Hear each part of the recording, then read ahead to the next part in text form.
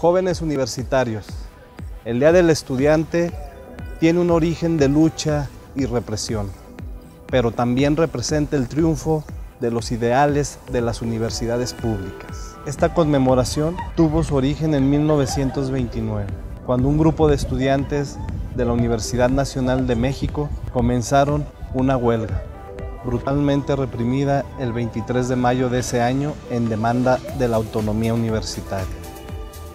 Con su lucha, aquellos universitarios legaron la autonomía a la máxima casa de estudios del país.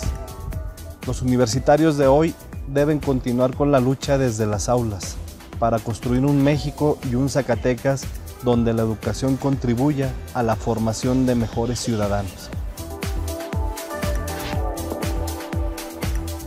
La Universidad Autónoma de Zacatecas se siente orgullosa de tener en sus campus a jóvenes como ustedes, idealistas y comprometidos con la academia, la investigación, el arte, la cultura y el deporte, pero sobre todo con la mirada puesta en construir un mejor Estado y un mejor país.